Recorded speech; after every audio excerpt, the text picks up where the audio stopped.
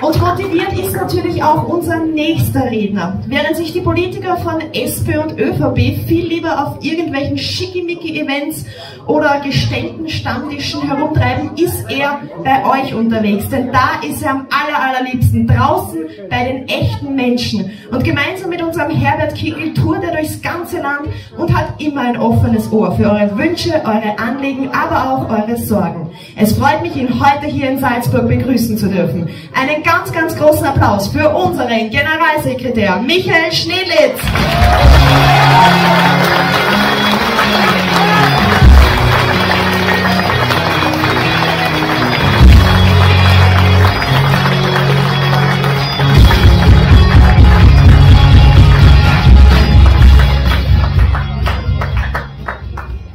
Bumm, liebe Freunde. Also es ist wirklich schön, äh, bei euch sein zu dürfen, da in meinem Geburtsbundesland Salzburg quasi.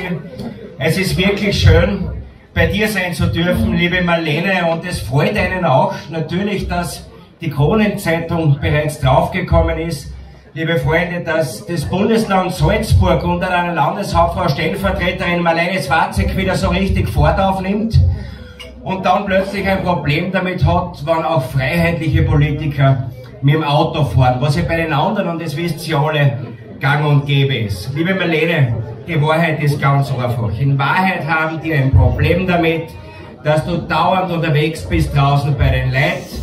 Dann haben es die Journalisten nämlich ziemlich schwer, dass sie ihre Lügen in diesen Blättern ver verbreiten, weil du immer zuerst unterwegs bist.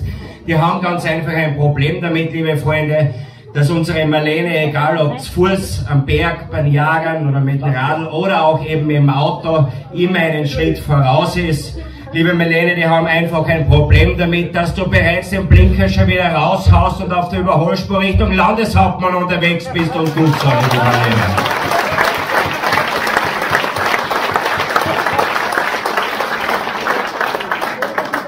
Und du hast es ja selbst schon angesprochen, liebe Freunde, ich bin auch mit Auto da. Wir schämen uns nicht dafür. Turbodiesel super zum Fahren, jetzt wo dieser Lufthunter weg ist. Aber eines verspreche ich euch auch und ich habe kein Problem damit, wenn diese Journalisten ein Problem damit haben, dass wir mit dem Auto fahren. Dann fahre ich das nächste Mal mit dem Traktor nach Wien, aber dann, liebe Freunde, dann nehme ich Jauchen fast Lacke mit.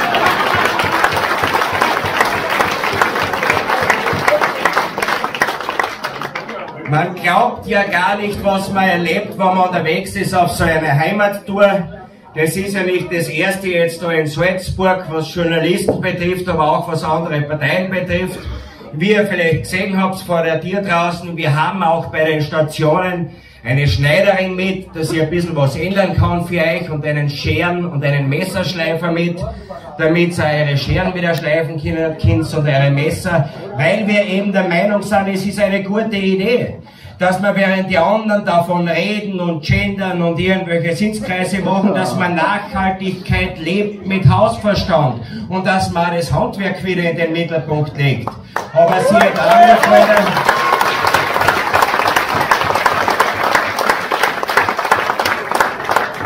siehe da, vielleicht haben sie ein paar von euch mitgekriegt, dann sind wir nach Kärnten gefahren und ein paar Tage davor haben die Artikel angefangen in den Zeitungen.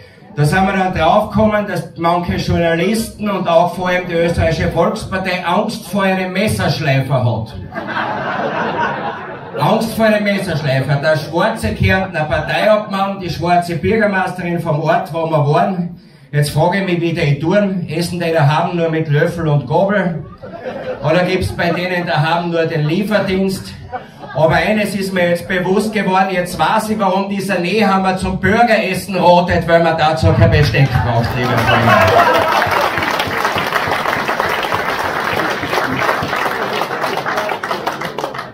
Da stimmt das Stichwort, liebe Freunde, Messer, Schere, Gabel, Licht ist für kleine Schwarze nichts.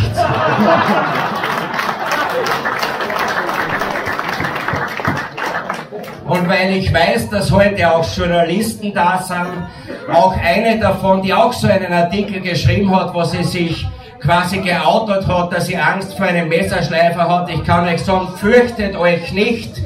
Wir haben heute nur die Schneiderin mit Aber ich darf euch auch gratulieren zu den Artikeln, die ihr geschrieben habt, weil eines weiß jetzt auch ganz Österreich, nämlich den Unterschied zwischen dem tapferen Schneiderlein und manch tapferen Schreiberlein. Das tapfere Schneiderlein, das hat's wirklich gegeben, liebe Freunde.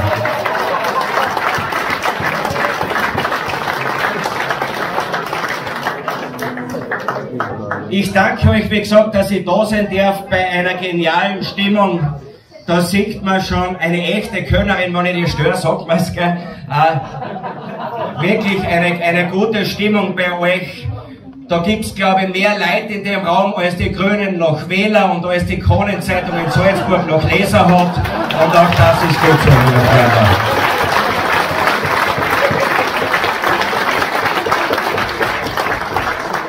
Da spürt man ganz einfach, da liegt was in der Luft. Da liegt in der Luft die Chance auf eine positive Trendwende. Einer Trendwende hin wieder zu einer Hoffnung. Einer Trendwende hin wieder zu einer Normalität, wie ihr es seit Jahrzehnten in Wahrheit geschätzt habt. Einer Trendwende hin wieder zu einer Politik, wo endlich wieder Politik für die Leute gemacht wird, für und nicht die ganze Zeit schnurgerad gegen die Leute, wie das die letzten Jahre der Fall war.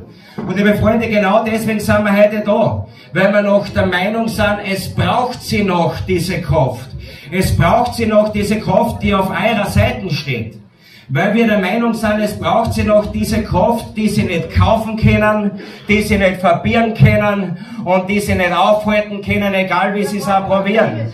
Und weil wir der Meinung sind, es braucht sie noch die Kraft, die da drinnen noch ein Herz für die Menschen hat, ein Herz für euch. Herbert Kickel hast die Kraft, da unten sitzt er und nach mir wird er auf die Bühne kommen.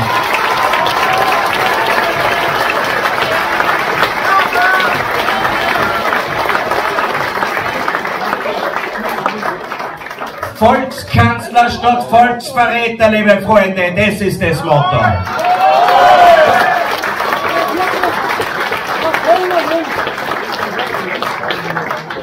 Und bisher haben sie sich irgendwie durchgewurstelt mit Hinterzimmerdeals, die Schwarzen und die Grünen, ich hab's das alle gelesen, wo man sich gegenseitig nicht wehtun will und ja nicht anpotzen will und wo man, wo man nur unter Einigkeit die Koalition auflöst.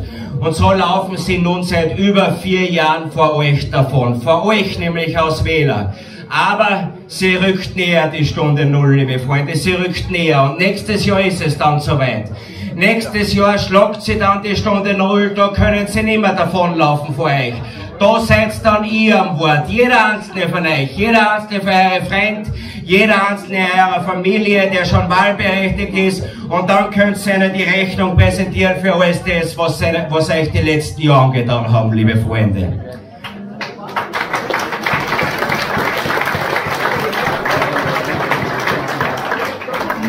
Für all das, was sie euch angetan haben beim Corona-Wahnsinn.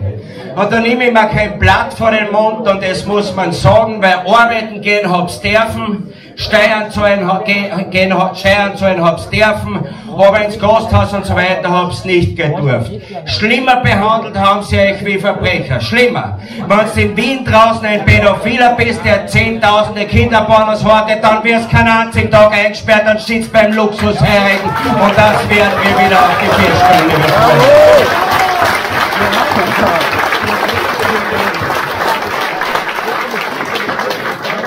Nächstes Jahr könnt ihr euch bedanken auch für den Impfzwang, wo euer, euer Körper ihnen bereits nichts mehr wert war, wo man glaubt hat, man kann auch über euren Körper bestimmen.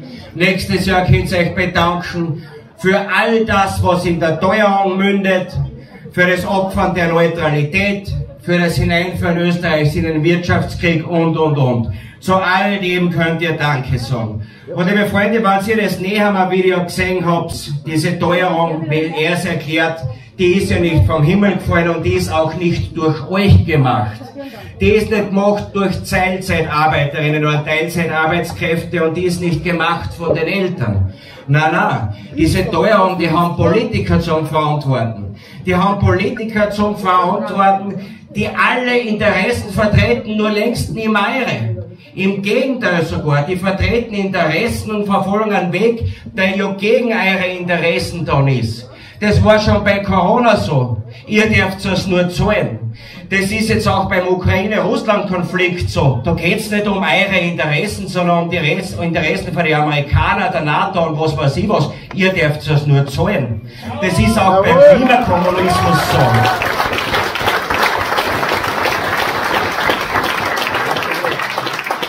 Das ist auch beim Klimakommunismus so, wo sie ja wollen, dass die Energie teurer wird, was sie ja zusätzlich neue Steuern oben drauf bocken. Da geht's auch nicht um eure Interessen, ihr dürft es nur zahlen. Und da, liebe Freunde, da seht ihr, wie verrückt dieses gesamte System ist. Und da mache ich euch folgenden Vorschlag. Genau diesem verrückten System werden wir gemeinsam nächstes Jahr den Stecker ziehen.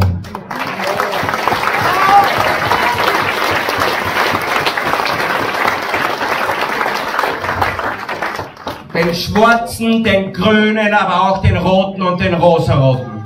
Weil sie, weil sie immer alle mit dabei waren, wenn es grauslich geworden ist für euch. Wenn es grauslich geworden ist für die Leute, für eure Familien und für eure Liebsten. Und stattdessen, liebe Freunde, werden wir wieder was installieren, was es braucht in Österreich. Das ist ein Kanzler aus dem Volk für das Volk. Das ist ein echter Volkskanzler, der Herbert Kickl heißt und er wird wieder vortreten, was die ganzen Verrückten haben.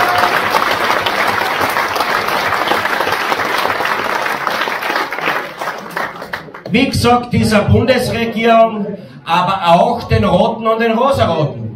Weil die waren überall mit dabei. Und genau deshalb hat ja auch die Sozialdemokratie jeglichen Anspruch verloren, dass sie irgendeine Alternative stellen zu dieser Bundesregierung. Die können gar keine Alternative stellen, nachdem sie immer dabei waren. Auch dieser Babler nicht. Und von dem ist eigentlich eh nichts mehr überblieben, außer dass er zwei Parteitage in kürzester Zeit braucht hat. Beim ersten hat er sich verrechnet, beim zweiten sind 88 Prozent rausgekommen. Könnt ihr euch jetzt selber einen Reim drauf machen, ob die Zahl stimmt oder nicht, liebe Freunde. Faktum ist schon eins, ich frage mich jetzt seit Wochen, was muss man eigentlich mitbringen, dass man bei den Roten der Chef wird? Was muss man mitbringen? Also rechnen kann es nicht sein, wenn man eine simple Addition nicht zusammenbringt, da kriegen unsere Volksschulkinder mehr zusammen, rechnen ist es nicht. Und dann habe ich mir das angeschaut. Die Bablers, die Ludwigs, die Doskozils, die haben schon eins gemeinsam, liebe Freunde. Alle gemeinsam ein Kampfgewicht jenseits der 120 Kilo. Also, dass bei denen Parteiobmann wirst, geht's anscheinend nach dem Motto, hast du einen Nadelstreif und ein Doppelkind, bist bei den Roten fix drin.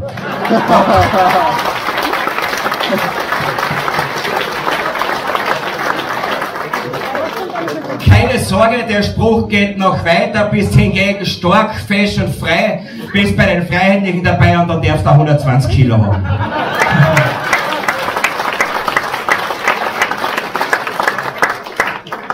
Das ist ja im Übrigen dieser Babler, der sagt, er schließt eine Koalition mit den Freiheitlichen und auch mit der österreichischen Volkspartei aus. Wird wieder ein Rechenfehler sein, weil das wird sich nicht ganz ausgehen.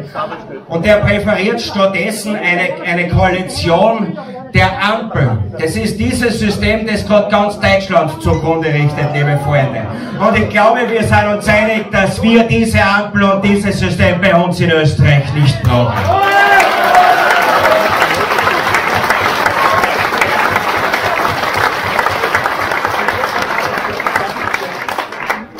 Da gibt's auch noch diese Bundesregierung. Ihr wisst sehen, das Beste aus zwei Welten. Mittlerweile wissen wir, die meinen Alkohol und Psychopharmaka.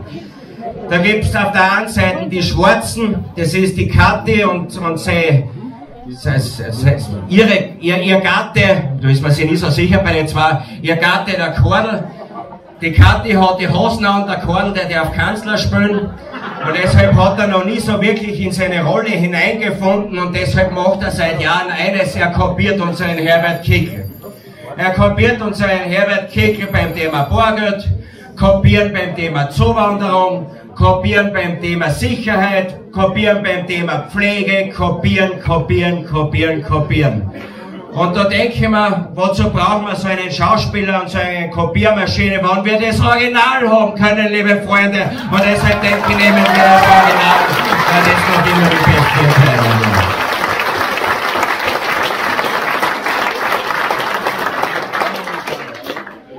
Dann gibt's da noch die Grünen, aber das ist so ähnlich wie bei den Neos, da brauchen wir uns nicht lange aufhalten.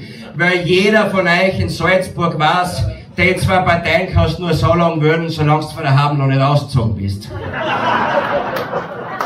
Damit sind wir auch schon wieder fertig. Aber, aber, liebe Freunde, und dann wird's wieder ein bisschen ernster, es wird eine harte Auseinandersetzung werden. Die werden nicht freiwillig gehen. Die werden nicht freiwillig weichen, dieses System, die werden sie zur Wehr setzen. Aber wir sind bereit, dass wir in diese große Auseinandersetzung hineingehen.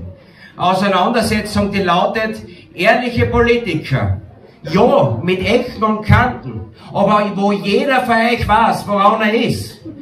Gegen Schauspieler, gegen Kopierer, wo man nicht weiß, woran man ist, gegen diese altglatten Lemuren.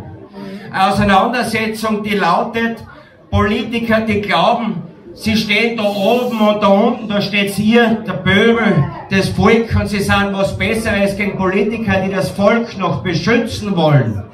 Liebe Freunde, die Auseinandersetzung nächstes Jahr lautet, Herbert Kickel gegen dieses abgehobene System von schwarzen, grünen, roten und rosaroten. Herbert Kickel gegen dieses System, wo auch Medien und gekaufte Journalisten, aber auch der Bundespräsident dazukehren. Und ich weiß nicht, wie es euch geht. Ich bin bereit, dass ich mich hinter Herbert einreihe. In die erste Reihe. Unser Herbert ist bereit, dass er vorausgeht dass er die Schläge einsteckt, die ersten, vom System und von allen anderen und von den Medien. Auch, dass er es wehtut, das gehört schon dazu, aber er kann schon zurückschlagen, das wissen wir alle. Aber wir müssen uns dahinter stellen und ich bin bereit, dass ich mich hinter ihm stelle und dass ich mit ihm gemeinsam andruck. Bis wir wieder sichergestellt haben, was es kehrt in dem Land und was es kehrt in einer Demokratie. Das ist, dass das Volk wieder der Chef ist und nicht irgendein Politiker. Ich weiß ganz genau, mein Chef, und damit meine ich jetzt nicht den Herbert, der sitzt heute Abend da vor mir. Mein Chef, das seid ihr, liebe Freunde, jeder einzelne von euch. Und ich als Politiker habe euch zu dienen und zu supporten.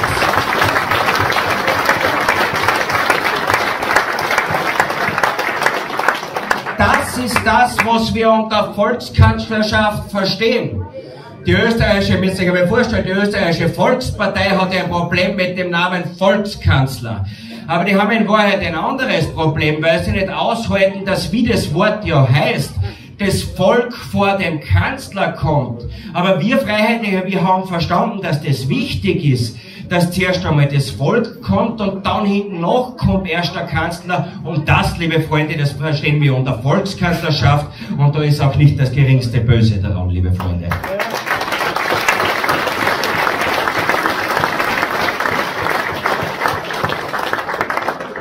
Und noch etwas verstehen wir unter Volkskanzlerschaft. Und ich bin ja am Murlauer, nur weil wir kein Krankenhaus haben, bin ich bei euch im Lungau geboren. Äh, bei uns hat mir meine Großmutter noch was mitgegeben, was in Wien draußen schon längst nicht mehr modern ist. Liebe Freunde, das ist etwas ganz Wichtiges, vor allem für Kinder, und in dem Alter hat es mir so mitgegeben. Das ist, dass man einen Schutzengel hat. Das ist in Wien draußen mehr modern, aber wisst ihr, warum das für Kinder so wichtig ist? Das ist, dass egal wo das Kind hingeht, dass es sich beschützt fühlt, dass es ein Urvertrauen hat und dass das Gefühl hat, dass irgendjemand auf dieses Kind aufpasst. Und genau dieses Urvertrauen, das haben alle vier Parteien die letzten Jahre den Menschen genommen, allen Österreichern, von den Jungen bis hin zu den Alten. Und ich sage euch aus tiefstem Herzen, es wird Zeit, dass wir der Bevölkerung dieses Urvertrauen wieder zurückgeben und dass es endlich wieder einen Beschützer gibt für die Leute mit unserem Herbert Kickel, der das Ganze wieder.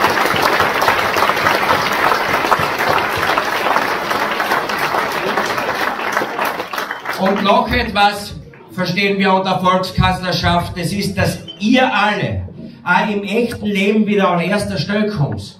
Auch nicht nur bei den Schlagzeilen oder in den Zeitungen oder was weiß ich was, sondern dass ihr sagt, spürt, dass ihr an erster Stelle seid. Weil eines hat Jörg Haider schon durchschaut und ihr wisst es alle. Vor Jahrzehnten hat Jörg Haider schon durchschaut, dass wir in einer Schieflage sind, wo immer für die gesamte Welt ein da ist, aber nie für die eigenen Leute. Auf Knopfdruck über 100 Millionen für die Ukraine. Jetzt frage ich euch, wo geht denn hier was auf Knopfdruck für die eigenen Leute, für die Senioren, für die Familien, für die Frauen, für die Fleißigen in dem Land, für die Bauern? Da geht nichts auf Knopfdruck, auch nicht für die Arbeiter und für die Angestellten. Auf Knopfdruck, wann in der Türkei ein Erdbeben ist, über Nacht müsst ihr euch vorstellen, Millionen, Millionen, über Nacht. Wenn bei uns in Österreich ein Hochwasser ist, da kann den eigenen Leuten der Gatsch bis zum Hals stehen. Da dauert es Jahres, wenn die Leute überhaupt irgendwas bekommen. Und auch das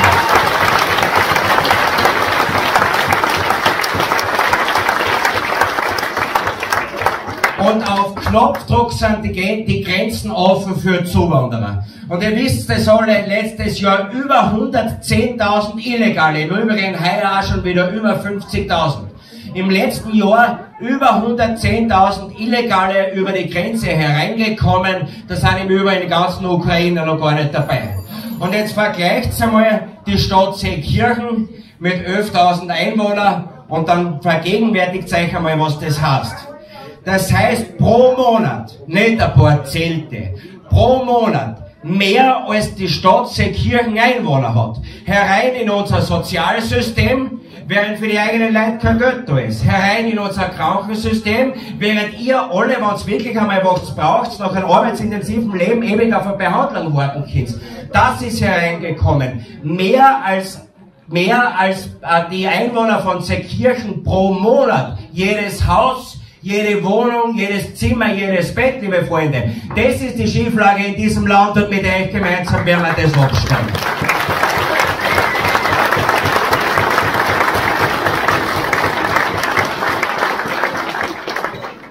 Das verstehen wir unter Volkskanzlerschaft dass zuerst wieder der Österreicher was zählt, dann kommt der Österreicher, der Österreicher, der Österreicher, der Österreicher, dann kommt lang nichts und wenn dann noch irgendwas übrig bleibt, liebe Freunde, dann kommt erst der Rest.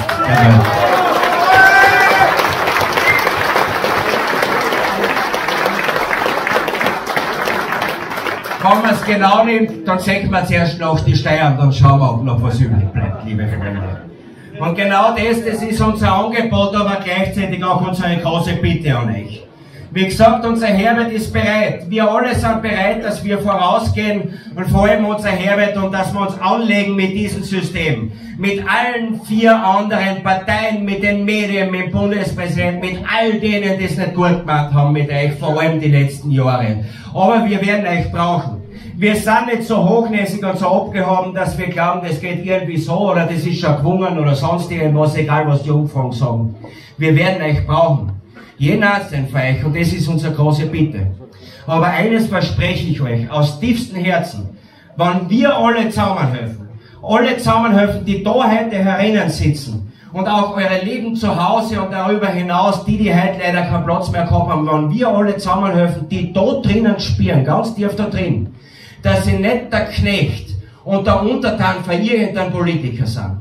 Wenn wir alle zusammenhelfen, die längst gemerkt haben, dass es in diese Richtung nicht mehr weitergehen kann.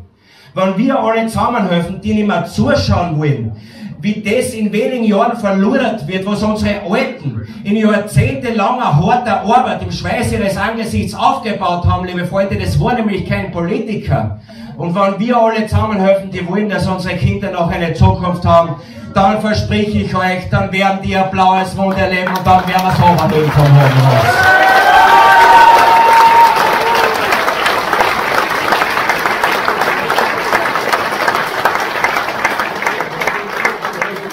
Unser Ziel ist es, dass mit der Stunde der Volkskanzlerschaft die Stunde des Volkes schlägt. Das heißt die Stunde eines jeden Einzelnen von euch und die Stunde eurer Liebsten, liebe Freunde. Und dann wird unser Herbert wieder dafür Sorge tragen, als Volkskanzler der Republik Österreich, dass wieder Gerechtigkeit einzig in dem Land. Und damit schließt sich jetzt der Kreis, dass endlich wieder Politik für euch wirklich für euch gemacht wird und nicht die ganze Zeit schnurgrad gegen euch, wie es die letzten Jahre passiert ist. Liebe Freunde, ich glaube an euch, ich bitte euch aber aus tiefstem Herzen. Das wird nicht einfach. Das wird auch ein bisschen wehtun, diese Auseinandersetzung. Aber wenn wir zusammenrocken und gemeinsam andrücken und denen sagen, wozu das Volk gemeinsam mit einer Volkskanzlerbewegung in der Lage ist, dann wird das Ganze gut ausgehen. Ich bin stolz auf euch, ich glaube an euch. Glück auf!